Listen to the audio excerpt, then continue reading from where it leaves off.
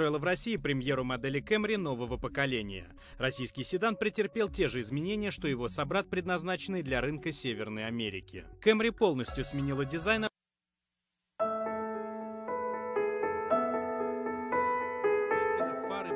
противотуманки и решетка радиатора. У машины обновилась почти вся навеска, включая пороги и задние фонари. Причем, по заверениям разработчиков, это привело не только к росту длины на 25 мм, но и к улучшению аэродинамики.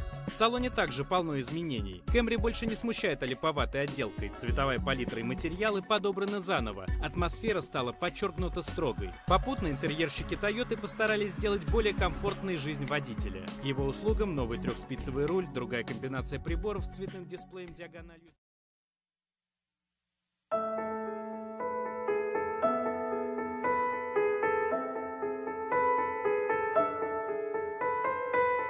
Положении кресла и руля, а также беспроводная зарядка для телефона. Кроме того, японцы внедрили ассистент выезда с парковки задним ходом, мониторинг слепых зон и автоматический дальний свет. В линейку моторов добавлен новый базовый агрегат. Двухлитровую бензиновую четверку форсировали до 150 лошадиных сил и до 199 ньютон-метров крутящего момента. Кроме того, ее теперь состыковали с современным шестиступенчатым автоматом, который также пойдет и на топовые версии с моторами 2.5 и 3.5. Новая базовая версия позволит позволит привлечь новых покупателей. Маркетологи видят в их роли мужчин 30-35 лет, начинающих бизнесменов